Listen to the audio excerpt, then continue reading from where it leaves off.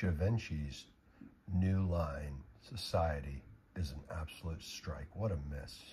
However, if you want to smell like class for a reasonable price, you cannot beat Reserve Privé.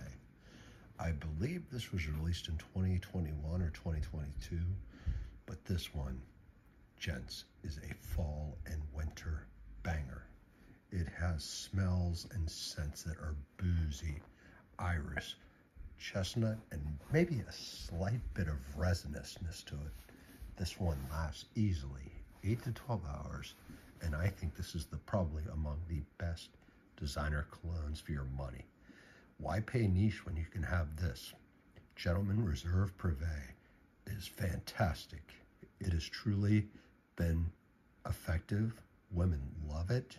And if you want to smell like you've got a lot of money without paying much, Go with this bad boy right here. You'll love it.